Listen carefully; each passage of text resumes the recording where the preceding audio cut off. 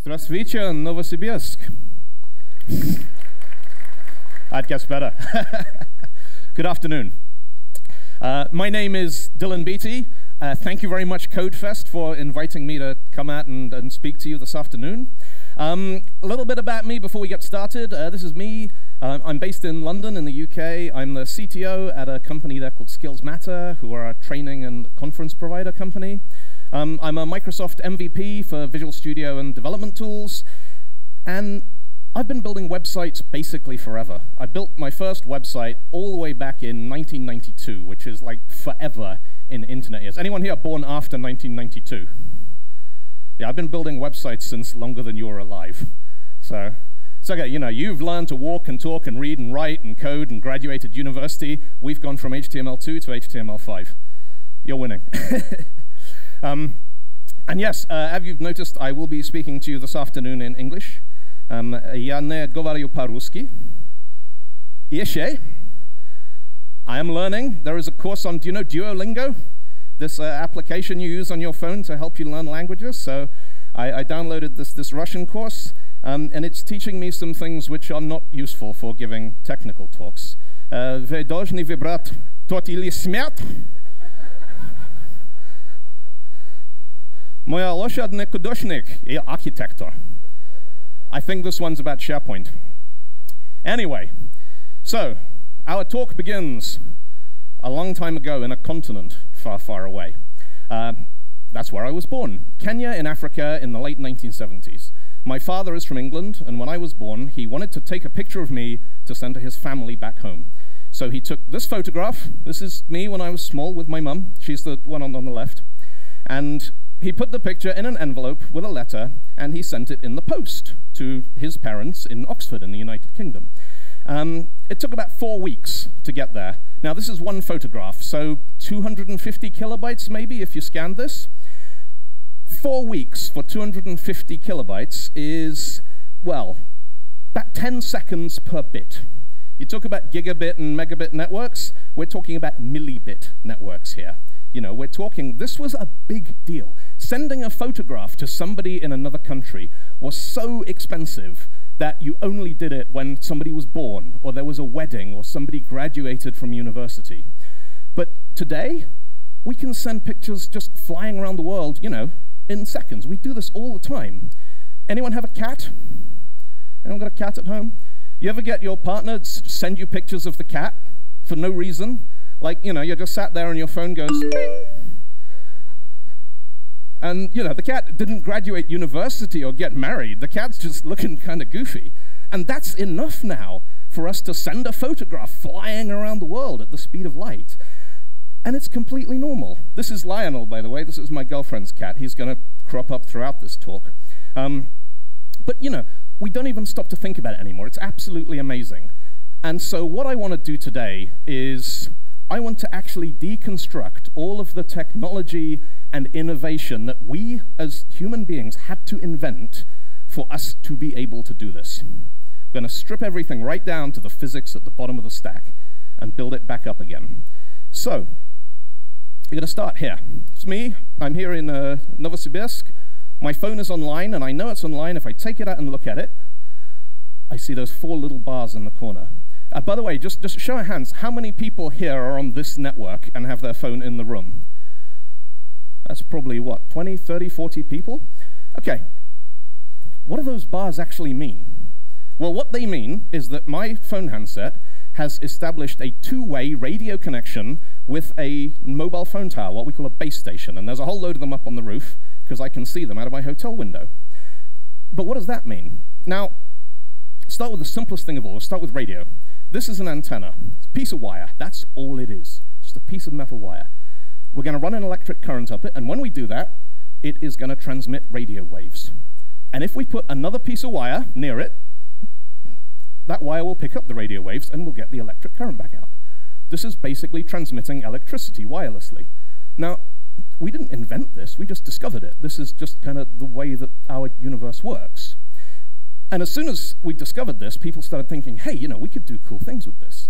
Why don't we put a really big tower up on top of the hill, and then anybody who's got a you know, a little transistor radio set with an amplifier and a speaker in it will be able to listen to music and the news and broadcasts and all this kind of stuff. And you know, nowadays this seems really old-fashioned. But this was a big deal when this happened. Before this, you wanted to talk to somebody, you had to walk to where they were and, and talk to them, you know.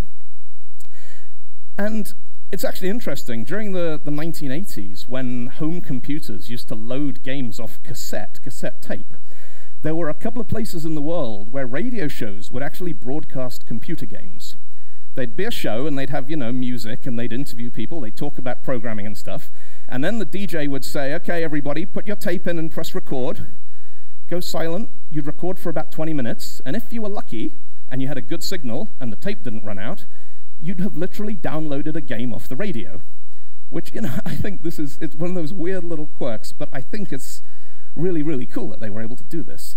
But, you know, there is a big, big difference between downloading an 8-bit copy of Tetris or Pac-Man off the radio and the kind of data networking requirements that we need for modern cell phone applications.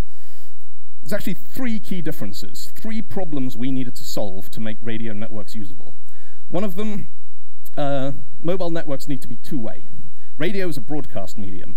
You know when you're using like a walkie-talkie or uh, um, you know like an intercom system, and somebody says, "Yeah, this is Dylan to Codefest," over, and then you have to release because they can't talk while you're talking. It only works in one direction at a time. But you don't want to do that with your phone. You want to be able to send and receive simultaneously. You want to be able to have phone calls. You want to be able to send and receive, upload and download data at the same time. So that's one problem we needed to solve. We need to solve the problem that radio is a broadcast medium. I don't want the roof of this building broadcasting my email to everybody who's listening, and anyone can just tune their phone in and go, oh, look at that, cat pictures, you know. So we need to solve that problem. And then we needed to solve the problem that we need a lot more bandwidth than you can get through FM radio. Now, cellular data, signal processing, this kind of stuff is incredibly complex. There's an unbelievable amount of clever stuff going on. We only have 30 minutes this afternoon, so if anyone really wants to know about it, come and find me afterwards or in the bar later, and I can talk you through all of the mathematics and mechanics behind it. But basically what's important for the purpose of this talk, mobile data uses something called a cellular network. Instead of having one big transmitter up on top of a hill that broadcasts right over the entire city, what they did was to break it down into cells. This is where we get the term like cell phones and cell radio and stuff. And these cell stations, because of the high frequency we're using, they have a much shorter range. In busy cities, you'll find a base station every few hundred meters, because each base station can only cope with maybe 100 telephone handsets. So right now, all of us in here with our um, iPhones and our Android phones and everything, we're probably maxing out the towers on the roof of this building. But that's okay, because there's about six or seven towers up there. I know, I checked. There's also you know, this limit on range. The effective range of one of these base stations is probably about 10 kilometers, but if there's more than 100 people within 10 kilometers, you're going to need another one. So this first problem we had to solve.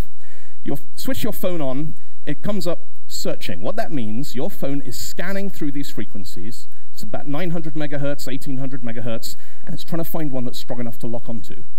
And when it finds one, it does a very complicated handshake with that cell phone tower. It says, hey, this is me.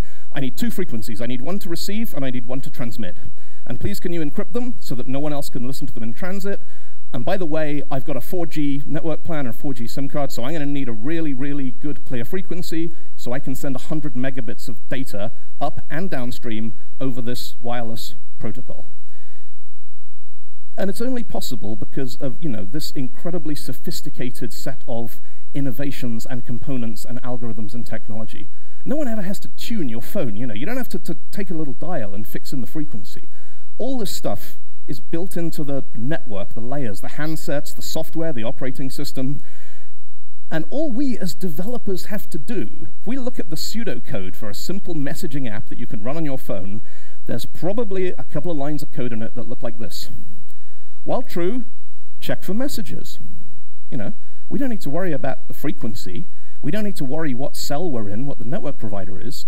All of this stuff's been abstracted for us. All we do is we keep pinging, checking for messages, checking for messages. Now, when we do that, our check for messages is sitting on top of probably HTTP, which is the kind of standard protocol now for doing API-based cloud services. And that's encrypted. We've got some industrial strength encryption and certificates going on there to make sure no one can intercept our HTTP traffic. That's sat on top of a thing called the TCP layer, transport layer. This is a way of breaking our request down into packets. Underneath that, there's a thing called IP, the Internet Protocol. Now, the amazing thing is that TCP is a guaranteed delivery protocol. It guarantees that if I send you 200 network packets, you will receive all of them in the same order that I sent them. But IP is not. IP is just throws them on the wire and waits to see what happens. So we've managed to build a guaranteed delivery protocol on top of an unreliable protocol. Underneath that, there's this thing called the link layer. The link layer is what gets those packets physically from here to the router. And then the router uses the link layer to get them to the backbone. And the backbone uses them to bounce them all the way around the world and out into the mobile phone base station on the other side. And then underneath that, there's 4G and LTE, which are these comms protocols built into the radio system. And then underneath that, there's the whole infrastructure that supports cellular networking. And underneath that, there is this fundamental innovation we call radio. It's easier just to say it works by magic. Because, no, this stuff is, there's this, this lovely quote, Arthur C. Clarke, who was a British science fiction writer. He said, any sufficiently advanced technology is indistinguishable from magic. Now, even when you know how this stuff works, I still think it's amazing that all of this technology exists. It exists everywhere in the world, and all we need to do to take advantage of it is just write one little line of code. Check for messages, you know, ping, web request, download. You know, I think that's absolutely amazing. So next time you pull your phone out of your pocket and you've only got two bars of signal, don't go, think about it. Think about everything that had to happen to get those two little bars onto your screen. Okay, so we've got our four bars of signal. Someone has just sent me this funny cat picture. And now, you know, we've got that one simple line of code, check for messages, return true. Now we need to play the alert sound. There we go. Doesn't sound like a big deal, does it? It's like half a second of audio. Now, audio is pressure waves in the air. Human ears are incredibly good at detecting pressure waves in air. The human ear is an incredibly sensitive instrument. So to make that ping noise, what we need to do is take an electric current, push it through a coil that's wrapped around a magnet that's inside our phone attached to this tiny, tiny little aluminium loudspeaker, about the size of a fingernail, and that moves enough air that your ear will go, ooh, ping, I need to check my phone. Now, signal technology and audio technology is analog, you know. We're human beings. We deal in waves and volume and noises and light and shade. We don't deal in bits. We don't deal in ones and zeros. And when you look at a waveform, so this is an audio waveform, what this literally is, is a set of instructions for how to move the loudspeaker. Move it forwards, move it backwards, forwards, backwards. That's what creates the waveform, that's what we hear. But to get this to come out of our phone, you know, vinyl, record players, those are analog. Cassette players, analog. FM radio, analog. Anyone here got a phone with a, a vinyl turntable in it? Cassette player? FM radio? Maybe one or two. Phones are digital. Modern technology is all digital. Digital is about numbers and ones and zeros. So we need a way to turn this nice smooth curve into a string of numbers. Now, the standard way we do that is we measure the height of the wave at intervals. That's it. All we need to know what position was the loudspeaker or the microphone in at the exact instant we sampled it. And there are two key numbers that affect how good the sound is. One of them is something called a sampling frequency, the other one is something called the precision. Frequency, how often are we measuring that signal? Compact disc audio, you'll look on the back of a CD packet, you'll see two numbers there. 16-bit, 44.1 kilohertz. What this means, 44,100 times every second, the CD or the, the sampling equipment that used to make CDs and most digital audio files is measuring the intensity of that sound wave and it's doing it using 16 bits of precision. So that's a number somewhere between zero and, anyone want to shout the answer? 262,000 something? So that's an awful lot of precision. You know, we have these very, very precise values to measure what that sound is doing. We do that, we measure the sound, we take that stream of numbers, we store the numbers in an audio file, right? Well, yeah, kind of, but we haven't invented file storage yet. We've got this string of numbers that represent the sound. Well, we have nowhere to keep it. We need to invent a file system. And before we can invent a file system, we need to invent a way that we can store a bit. We can write down the value of a single bit, a one or a zero, and then we can go away and then we can come back later. Which, you know, we kind of take for granted, but somebody had to invent this. And the earliest storage systems used physical hard drives. You had a spinning platter, 15,000 revolutions per minute, covered in a magnetic substrate, covered in tiny, tiny particles, and you have this head. This has been slowed down 40 times so you can see what's happening. If this is happening at real time, you'd just be a blur. You wouldn't be able to see anything at all. And that head has an electromagnet in it that is reading literally hundreds of millions of those bits off that disk every second. That's what disk read speed really meant in the days of mechanical disks, is how fast can that head scan across the spinning piece of metal and read and write and read and write by switching this electromagnet on and off. Now, the big problem with these is, one, they have moving parts. Two, they're fragile, they use a lot of heat, or they use a lot of power, they generate a lot of heat. And if you drop one, you get what's called a disk crash, and then you have to go and buy a new hard drive because they're not terribly robust. But we fundamentally had this way of writing a series of bits, going away for a while, coming back later, and finding the bits that we stored. The earliest hard drive systems, literally, they used a thing called a file allocation table, which is still around today. The earliest file allocation table was literally the name of the file and the physical address on one of those disks where you could go and find that stream of bytes and the length. How long was the stream that you saved there? Now, you know, this is a good idea, but you don't, this is not going to do cat pictures on mobile phones at the speed of light halfway around the planet. We had to invent flash memory. Now, the brilliant thing about flash memory, you know, we've had memory for years and years and years. Problem with memory is if you switch the power off, it goes, gets wiped, completely erased. You have a power failure, you've not just lost your work, you've lost your entire hard drive. All your apps, all your programs, that NPM install pipeline you spent last week working on, it's gone. So, we, uh, it was Toshiba who came up with the, the first, what they call non-volatile RAM. This is memory that you can put value, write values into it, take the power away, and it will remember what values you put in there, so when you power it up later. And the way it works, it's basically a grid. A couple of hundred million of these things in a tiny, tiny silicon wafer. And each of these cells, they're arranged in a grid pattern, just like this one, and they have address lines. They have grids, rows, and they have columns. And when the row and the column intersect, we can write a value into that cell. And the way we write a value is we take a bunch of electrons and we trick them into getting stuck inside this tiny, tiny layer of silicon oxide. And then we take the power away and the electrons stay there. I think that's amazing, you know.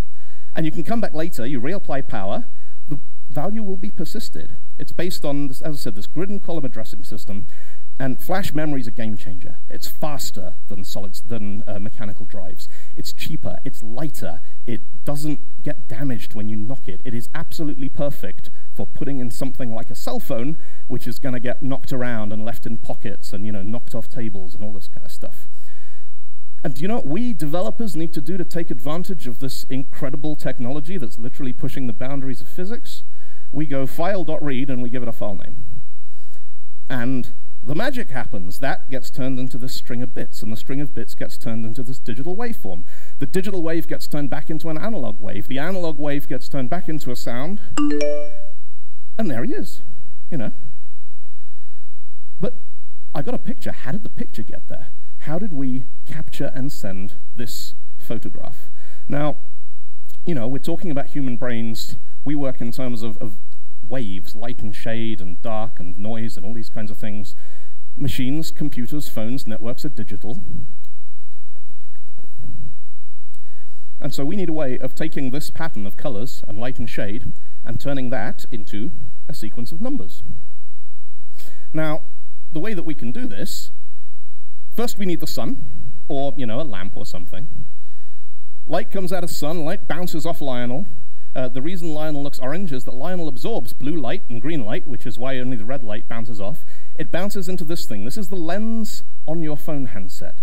The lens focuses it onto this thing. This is a CMOS light receptor. You've got an 8 megapixel phone, there are 8 million of these tiny, tiny sensors. Every one of them is an electrical component that if you shine light on it, it will emit voltage, and you can read how much light is falling on it. Now, these things only work in black and white. They can only do grayscale. So we invented this incredibly sophisticated pattern of red and green and blue filters so that even though all we're picking up is light and dark intensity, we can recreate the colors that actually went into the original image. So when you press the shutter on your camera phone, you are capturing 8 million photodetectors. Each one of them is giving you three values, a red value, a green value, and a blue value. Red, green, and blue are the components of visible light. And we're probably storing each of those with 8 bits of precision per channel. So, 8 million pixels, 24 bits of information per pixel. Anyone want to do the maths? 192 million bits, 24 megabytes for this picture. Now, that's not a lot. But here in Russia, roaming data for me costs four pounds for 40 megabytes. That's about, what, 400, 420 rubles? Um, so this uncompressed picture of Lionel will cost me 200 rubles. And a beer in a bar here costs, what, about 80? So if I can compress this image by 50%, I can get a beer. And if I can compress it even more, I can get two beers, maybe even three beers. So let's do some science. Now, there is a whole range of formats and algorithms and compression techniques that are used to compress images in all sorts of ways. Um, the one we're going to talk about today is the most popular. It's kind of a de facto standard. It's the one that's been used all over the web. It's called JPEG. It's Joint Photographic Experts Group. Now, you know, JPEG files, they're ubiquitous. We all deal with them every day. But there's actually an astonishingly sophisticated set of algorithms that go into how JPEG works. Now, um, unfortunately, I can't use this picture of Lionel to demonstrate because it's already been compressed, so I can't show you the difference. But this is a public domain picture that's on Wikipedia, and I'm going to use this just to talk you through what actually happens when we use JPEG compression on an image. First thing, when we captured this, we captured three channels, red, green, blue. There's actually lots of different ways of representing an image as separate channels of values. And the model that JPEG uses is it uses a model called, for some reason, YCBCR. Y stands for lightness. Why? I don't know why. It just does. So this is basically light and dark. This is how light and how dark the image is. And then we have two channels. One gives you a balance between blue and yellow. The other one gives you a balance between red and green. The reason it does this is we humans are much, much better at seeing light and dark than we are at seeing colors. So the first thing we can do is we can throw away almost all of the precision information from those colored channels. We can downsample them. We can throw away, JPEG throws away 75% of the pixels in the colored channels and your mind just fills them back in because it can see the light and dark and it guesses at what should be there. That's awesome, you know, 75%, we've just gone from 24 megs to 12 megs. Just by throwing away color information, we've earned our first beer. Yeah? Now, the next thing we want to do is work out how we can squash what's left to get that down even smaller. We're still thirsty. Now, what we're going to do, we're going to zoom in on one tiny element of this picture because JPEG works in tiny, tiny, tiny tiles, one at a time, then it sticks them all back together. We're going to zoom right in on the ridge of the roof. We're going to take a slice through it. So just one row of pixels, and we're going to imagine what happens if we take that row of pixels and we plot it as a wave. So can see here we've got this, this spot where it dips down right in the middle, corresponds to the dark area here. This peak here corresponds to the light area there. The reason that we want to do this is down to a guy called Joseph Fourier, who's a French mathematician, and Fourier made this amazing observation that any wave, almost any pattern, any shape, can be reproduced by breaking it down into lots of small, simple waves and gluing them all together. Now, this is a demonstration of how to recreate a square wave using really simple orbiting sine wave patterns. We start off with the primary wave. That's not square. So we're going to add another layer to it. And then we're going to add another one on top of that. And then we're going to add another one on top of that. And I think this is magic. Because by doing this, we can take a signal, we can take a waveform. It's how MP3 works. It's how JPEG compression works. It's how MPEG compression works. They turn these images into a series of waves, and then they break those waves down into fundamental, simple waves that give you the ingredients you need to reconstitute them. So we're going to take one tiny slice, this little 8 by 8 pixel square here. Now, what we need to do, we need to create a recipe for recreating this tile. And the point about recipes, you know, you're making any kind of recipe, some ingredients are more important than others. So here is a recipe for shchi. Yeah? That, there's that uh, saying, shchi da kasha pisha nasha. Yeah? And there's a bunch of different ingredients in shchi. you know, you've got to have meat and cabbage and carrots and onions. If you leave those out, it's not shchi. You know, you, you, you've broken it. But then there's a bunch of ingredients here that maybe they're good, but you don't need them. So we could leave out the salt and pepper, yeah? And maybe we can leave out the garlic and the bay leaves. And we've achieved 39% compression. And what we've got, you know, it's lossy compression. This isn't the best shchi you've ever had, but it's still shchi, you know. And maybe if you're hungry, your brain will just fill in the different bits. That's how JPEG compression works. We throw away the bits that don't matter, and your brain fills them back in for you. Now, instead of using, you know, meat and cabbage and potatoes, the ingredients for JPEG recipes are these 64 little tiny tiles here. These are baked into the JPEG specification. And what these represent, these are uh, basically they're, waves, sine waves. So this is a um, period zero, this is a blank. Then this one here is one wave, two waves, one and a half waves, two waves, two and a half, three, all the way down. So this bottom right, that's a checkerboard pattern. That's basically the most complicated pattern you can fit in an 8 by 8 pixel grid. And you can recreate any black and white tile by adding together these tiles in just the right proportions, just like making a recipe. So JPEG runs this incredibly complex bit of maths called a discrete cosine transform, which I'll tell you about in the pub later if you really want. And what that does, it tells us how much of each of the ingredients we need gives us all these different coefficients. Now, the couple of things you'll notice here. One, top left, this is the big one. This is important. This is the, you know, the cabbages and the meat if you're making shchi, or the, or the beetroot and the meat broth if you're making borscht. This is the ingredient you can't leave out, otherwise the whole thing won't work.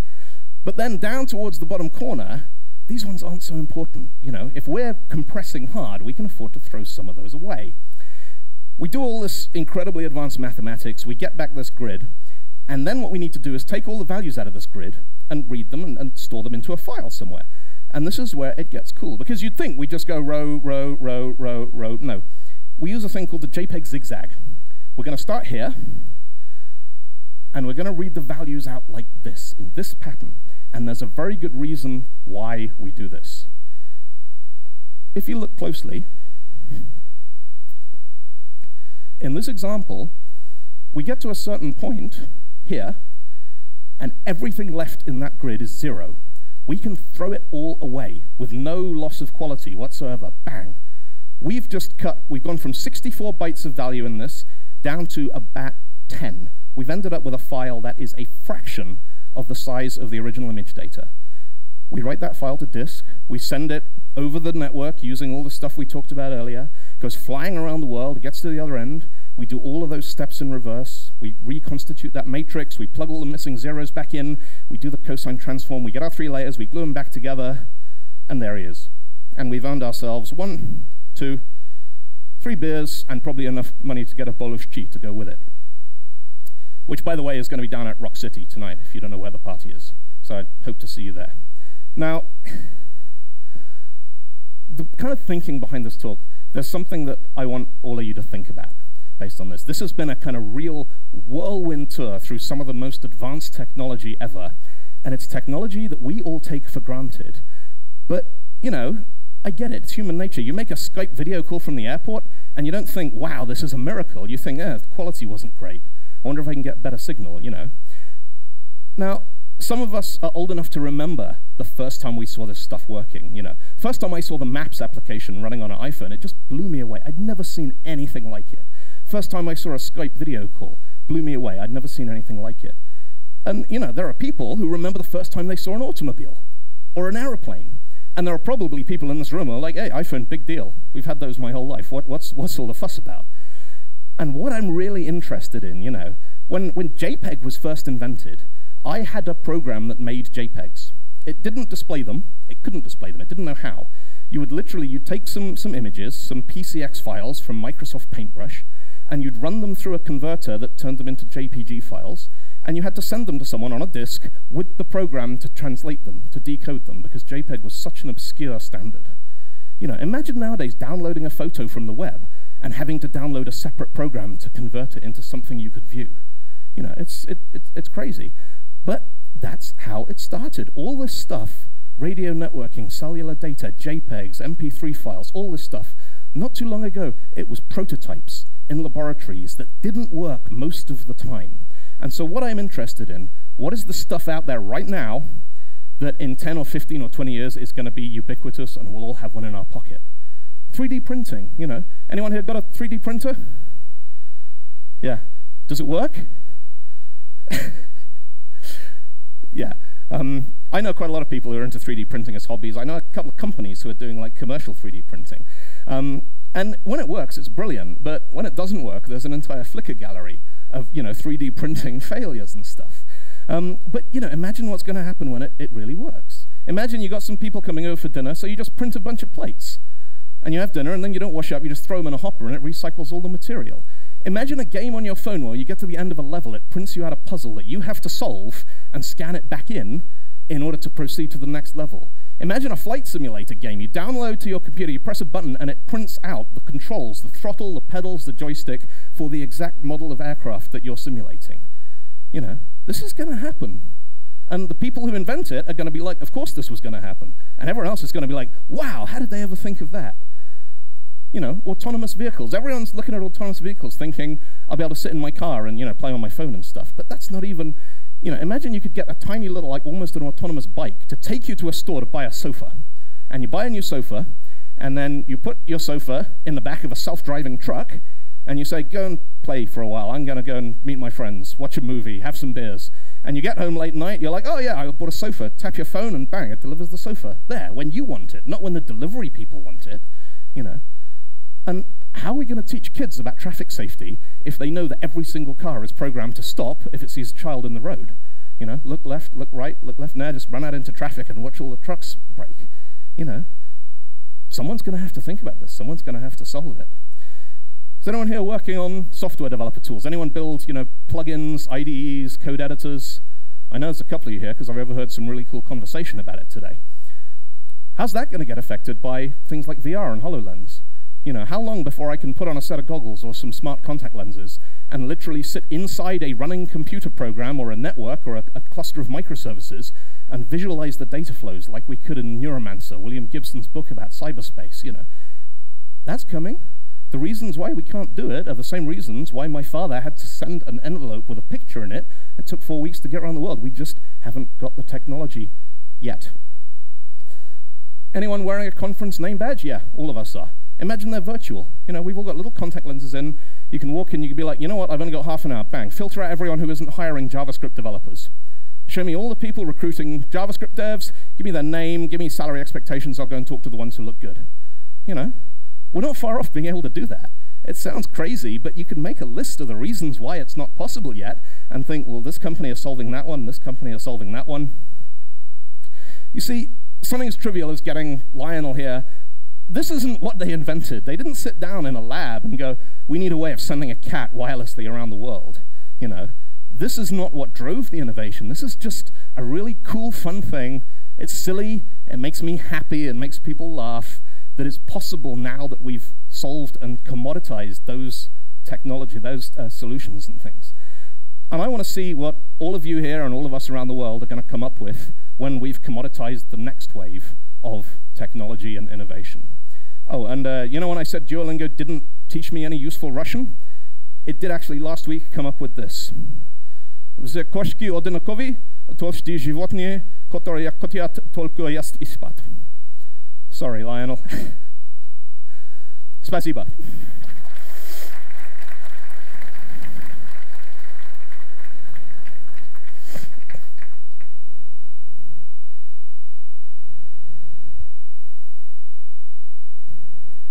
Questions? In English, please.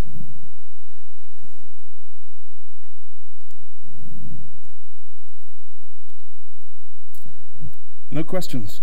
We have a question. Someone over there?